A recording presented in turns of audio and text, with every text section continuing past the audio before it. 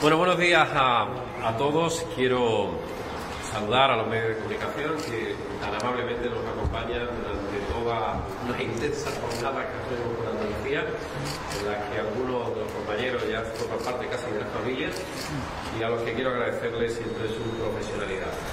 Me van a permitir también que empiece, como es habitual, saludando a las autoridades aquí presentes, que son muchas e importantes, pues que mucho e importante son las cosas que hoy vamos a anunciar. Me van a permitir que empiece por precisamente por la anfitriona, por la alcaldesa de la ciudad de Marbella, a la que quiero agradecer en primer lugar la, la colaboración, la cooperación, su coordinación permanente con el Gobierno autonómico en todos los asuntos que afectan a todos los vecinos de Marbella y de manera muy especial la pandemia. Sin duda alguna, todos los alcaldes, pero de manera muy especial la alcaldesa de Marbella se ha volcado en la lucha contra la pandemia se ha volcado hasta tal punto que no solamente ha puesto los recursos del ayuntamiento, policía, limpiezas en los colegios, servicios operativos, etcétera, sino que ella misma, en su condición de sanitaria, también ha estado presente y muy pendiente de todas las situaciones que se han producido en esta ciudad como consecuencia de la COVID-19. Por tanto, querida alcaldesa, Muchas gracias por tu compromiso y tu esfuerzo. Al consejero de Salud y Familia, que ya es un clásico, acompañante mío o yo de él, yo ya no sé quién, quién va con quién, pero la verdad que estamos todos los días juntos y eso es motivo de satisfacción porque significa que la salud por fin la gestión sanitaria está en la agenda política, están las prioridades administrativas del Gobierno andaluz y lo demostramos no con palabras, sino con hechos todos y cada uno de los días. La delegada del Gobierno de la Junta de Andalucía, querida Patricia, placer verte delegado de Sanidad también, Carlos, gerente del Hospital Costa del Sol, Luisa, muchas gracias por tu trabajo, tu compromiso y tu esfuerzo, director de los procesos industriales y obras del hospital, que está también con nosotros Rafael, gracias por todo. Y por supuesto a todo el equipo directivo que hoy tan amablemente nos acompaña en esta visita y también a todos los profesionales sanitarios que eh, han trabajado, que ellos son el alma de todas estas infraestructuras que queremos hacer y sin los cuales nada, cuando digo nada, nada sería posible. Bueno, hoy venimos al Hospital Costa del Sol y vengo yo personalmente y tengo que decir que con mucha ilusión, no solamente porque vengo a Marbella, que ya de por sí eso siempre ilusiona, porque vengo a mi provincia, la provincia de Málaga, sino por, porque estamos en un momento histórico porque hoy les anuncio algo que, llevamos persiguiendo durante muchos años. Durante muchos años la alcaldesa de la ciudad de Marbella lo ha pedido, lo ha reivindicado, las propias asociaciones vecinales, los profesionales, en definitiva toda la ciudad y prácticamente, tengo que decir prácticamente toda la Costa del Sol, pedían algo que era razonable, justo, sensato, oportuno que yo me comprometí además cuando era candidato a la presidencia de la Junta de Andalucía y que hoy tengo la suerte y el honor de decir que anunciarle que las obras de este Hospital Costa del Sol, tras más de una década paralizada, que se dice pronto, serán licitadas este verano. Eso significa que ya no hay vuelta atrás. Eso significa que vamos a, por fin, en un periodo de un año y medio, a tener esta magnífica instalación hospitalaria al servicio no solo de los vecinos de Marbella, dando servicio a medio millón de personas, que se dice pronto en toda esta área, sino también a esa población flotante tan numerosa, tan importante que tenemos afortunadamente en la Costa del Sol y en Marbella. Este es el paso definitivo hacia una ansiada ampliación y modernización en esta legislatura para, abrir precisamente a finales del año que viene esta, esta importante infraestructura. Y estamos hablando, además, de un esfuerzo económico muy grande. Lo hablaba con la alcaldesa hace tan solo unos minutos. Estamos hablando de, de 100 millones de euros. 100 millones de euros. 100 millones de euros porque son 75 millones de euros la inversión, pero ya es que hubo que hacer un rescate, una concepción donde nos tuvimos que gastar 10, donde el ayuntamiento también ha tenido que desembolsar 15 millones de euros. En definitiva, 100 millones de euros 100 millones de euros para hacer una de las grandes referencias sanitarias de Andalucía, aquí en Marbella, en la Costa del Sol. Y además con la que vamos a acabar con años de déficit de espacio, de camas, de especialidades que eran necesarias y que desgraciadamente no podía cumplirse. Di mi palabra de que esto lo haría y lo estamos haciendo. El objetivo es convertir el Costa del Sol en una infraestructura de vanguardia, de vanguardia en Andalucía y de vanguardia en España, con mayor capacidad asistencial, con más servicio para ese medio millón de personas que viven o disfrutan de esta maravilla que es la Costa del Sol. Y para llegar a este momento hemos estado trabajando prácticamente, y lo digo textualmente, desde el primer día. Fue tomar posesión y ya tenía yo una llamada de la alcaldesa de Marbella para recordarme los compromisos. Esto es literal, literal. Al día siguiente digo, bueno, déjame respirar, que vea dónde estoy por lo menos. Y ya me estaba recordando que este era una prioridad y que teníamos que cumplirlo. Hemos rescatado, como he dicho antes, la obra paralizada, 12 millones de euros que se tuvieron que desembolsar y elaborado el plan funcional, que por cierto fue consensuado y trabajado con los directivos y con los jefes de servicio, porque creemos que así hay que hacer las cosas. Además, se han acometido reformas puntuales y una ampliación del hospital, a las que se han destinado 3.600.000 euros para renovar equipamiento y ampliar las consultas externas y observación de urgencia. Este hospital ya estaba al límite de su capacidad, pero no ahora, sino cuando se diseñó su propia ampliación. Faltan especialidades. La última vez que se amplió su cartera de servicios, si no tengo mal los datos, fue en el año 2009 y estamos en el 2021. Hay pacientes que tienen que trasladarse al clínico de Málaga, especialmente en el ámbito oncológico, lo cual supone también saturar y presionar también al Hospital Clínico Universitario de Málaga. Falta capacidad de respuesta para dar cobertura a mucha población. Tengo que recordar que una de las zonas que más crece de España, no de Andalucía, en términos demográficos, es la Costa del Sol.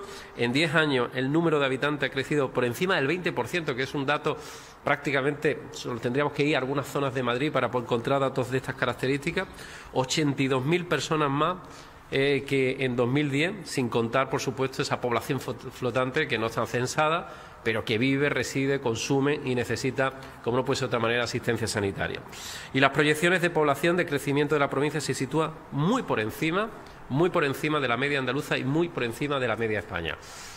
La provincia de Málaga, en muy poco tiempo, en muy pocas décadas, superará los dos millones de habitantes. Y eso tenemos que prepararnos, prepararnos para que tengamos eh, las infraestructuras sanitarias acorde con esas necesidades. Con esta obra vamos a dar respuesta a problemas de hoy y del futuro. Cuando la ampliación esté terminada, habrá más camas de hospitalización, un 62, no, más de 62 camas, 62 más, el doble de camas UCI que ahora, con lo cual se duplica, y un servicio de urgencia, evidentemente, mucho más amplio, con más especialidades básicas, como salud mental, que tengo que decir que no está, actualmente no está resuelta y que tenemos y además como consecuencia tristemente de la pandemia, una de las secuelas que vamos a notar y que tenemos que empezar a reforzar es el ámbito de la salud mental, porque como todos ustedes saben, muchos de nosotros estamos, eh, al final nos genera ansiedad, ha habido pérdidas de sueño, frustraciones. En definitiva, esta pandemia deja muchas secuelas en todos los ámbitos y una de ellas, sin duda alguna, va a tener que ver con la salud mental. También cuidados paliativos, concertados pero insuficientes. También vamos a mejorar cirugía vascular o neurofisiología. Así los pacientes del Costa del Sol, de la Costa del Sol Occidental, no tendrán que recorrer kilómetros para ser atendidos de estos servicios. A la vez que, como decía, descongestionamos otras infraestructuras sanitarias que están también al límite, como el clínico. El personal de este hospital y sus usuarios merecen, evidentemente, que el Gobierno andaluz invierta y apostemos por él, por su nivel de compromiso y también por su nivel de resultado. Sus profesionales tienen, y lo digo así, sobresaliente un sobresaliente en encuesta de satisfacción global. ¿Qué significa eso? Significa que aquí los profesionales dan mucho más de lo que, de, lo que su labor le encomienda, su inmensa vocación, hacen que humanicen la sanidad, que tengan un servicio muy personalizado, que pongan mucho de sí para que los ciudadanos salgan tremendamente satisfechos como para poner ese sobresaliente. En 2019, el Costa del Sol subió 39 puestos, 39 puestos en el ranking de los 100 hospitales públicos con mejor reputación sanitaria que elabora Merco, que es el monitor empresarial de reputación corporativa. Y cerró 2020 con los mejores datos de Andalucía en reducción de listas quirúrgicas. La verdad que, sin duda alguna, todo un reto por parte del equipo.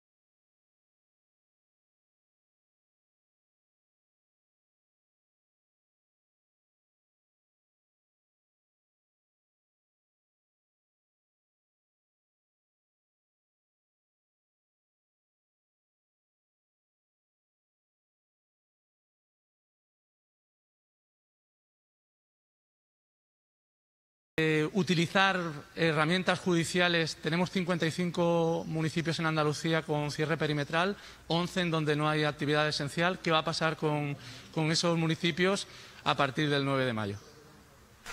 Bueno, evidentemente aquí ha habido una eh, mm, escandalosa falta de previsión por parte del Gobierno de la Nación.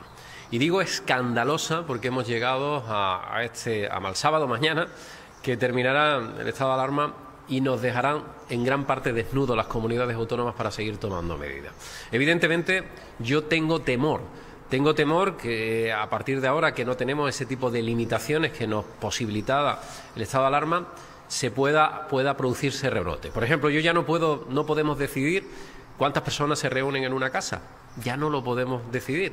Mañana puede haber 30, 40. Evidentemente no hay toque de queda, con lo cual los ciudadanos pueden estar a las 4 o las 5 de la mañana y además vamos a tener serias dificultades para cerrar perimetralmente municipios que están por encima de mil casos de incidencia.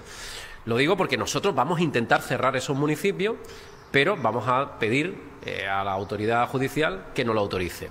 Nos podemos encontrar, porque ya nos han avisado por parte de, ciertos sectores judiciales, nos podemos encontrar con la negativa a autorizar esos cierres perimetrales.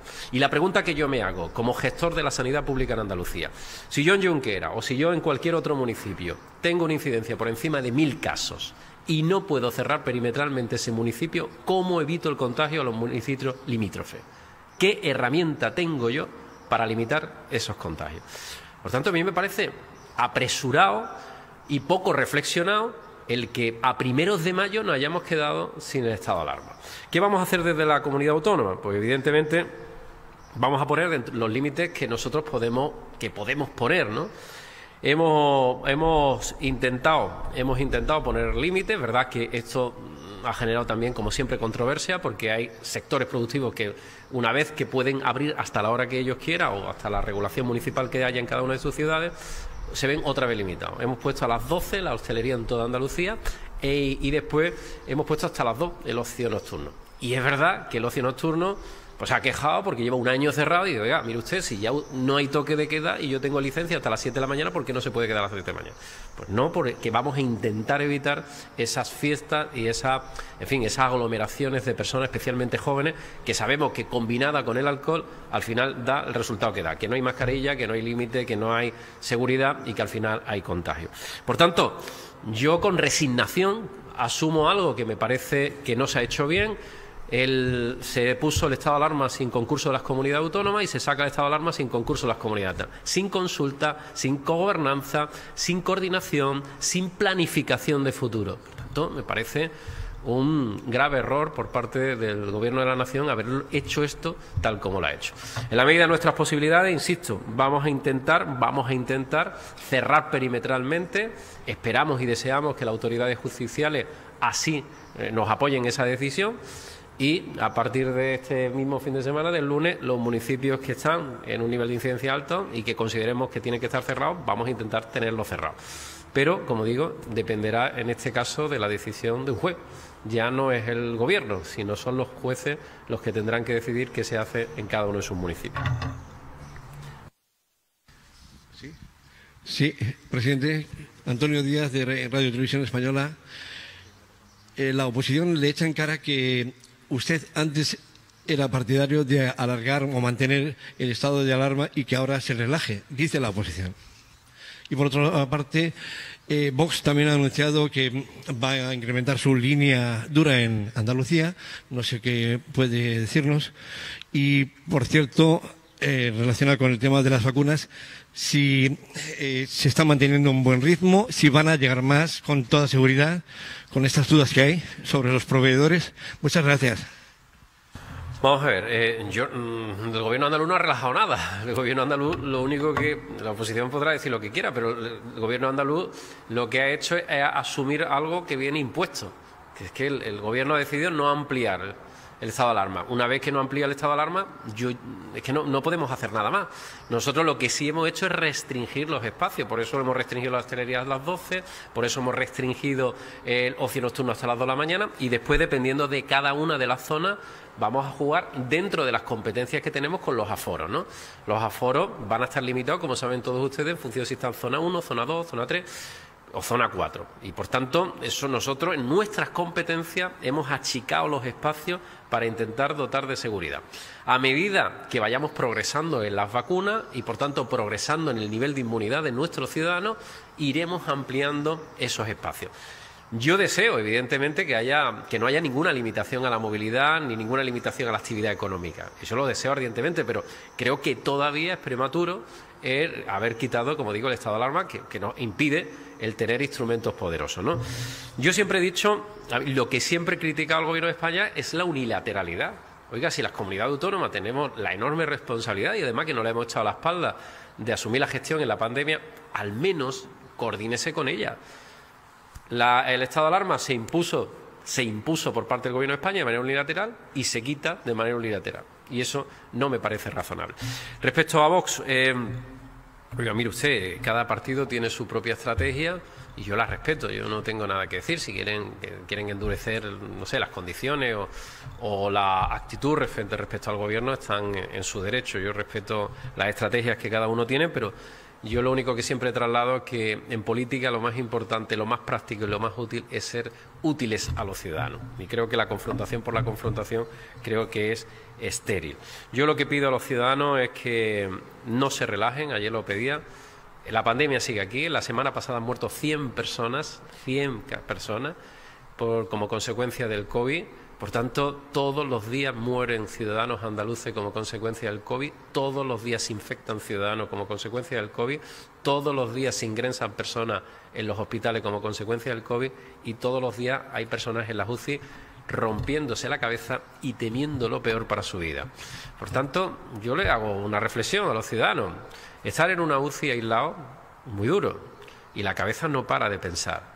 Y lo primero que se te va a pasar por la cabeza es que puedes desaparecer, puedes morir y no volver a ver más tu familia. Y eso es tomarte una cerveza con un amigo, quitarte la mascarilla, pegarte un roce o no sé qué, en fin, relajarse. Yo pido a todos los ciudadanos mucha prudencia porque todavía nos queda mucho por hacer. Respecto a la vacuna, tenemos un compromiso del Gobierno de que nos llegue alrededor de medio millón, algo más de medio millón de vacunas a la semana, tal como están llegando la estamos poniendo, pero tenemos algo que queremos que el Gobierno nos solucione.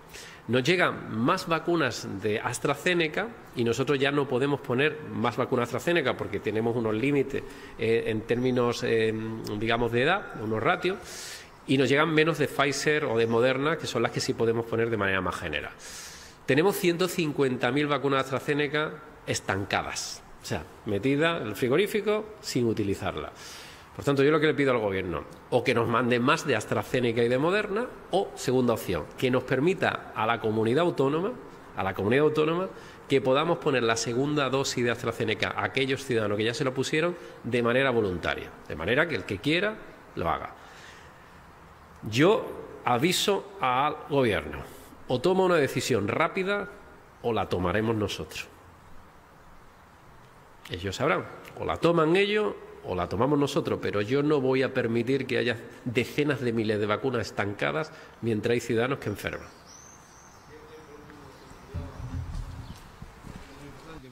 ¿Se va a recuperar, se va a recuperar el turismo o no tanto, como dicen? ¿El turismo se va a recuperar o no tanto, como dicen?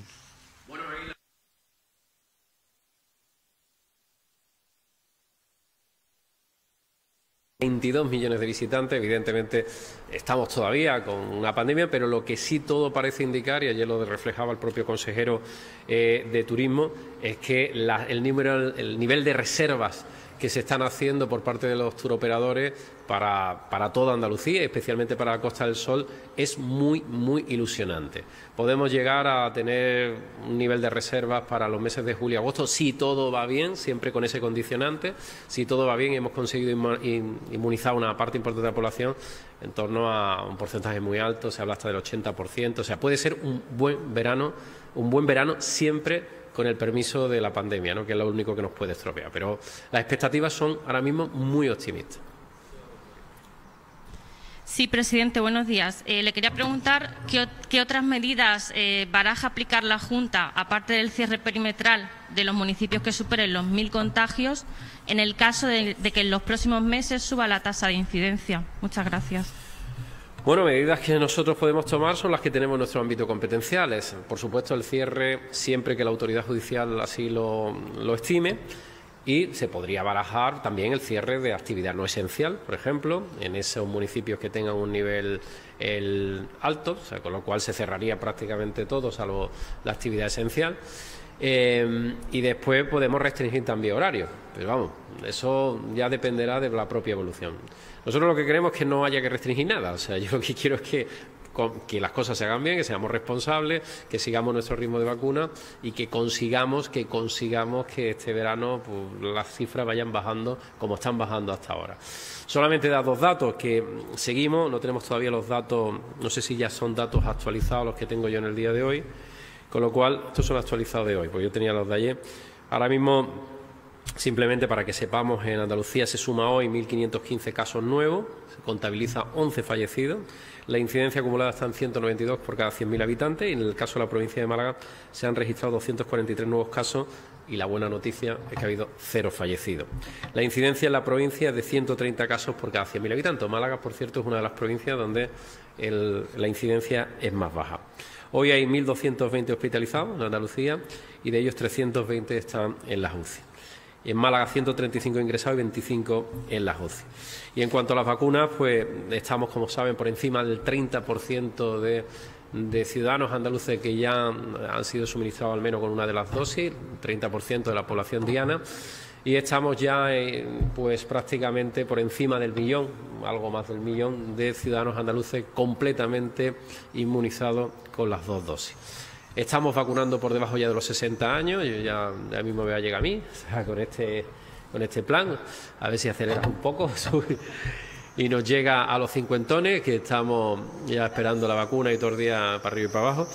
Pero el, el ritmo ya es muy bueno porque ver personas ya de 59, 58, 57 y, en fin, ya incluso gente con mi exuberante juventud está a punto de, de ser vacunada, ¿no? Con lo cual esto ya está cogiendo un ritmo sumamente importante y, estoy convencido que si seguimos así llegaremos al mes de julio en unas condiciones muy, muy razonables.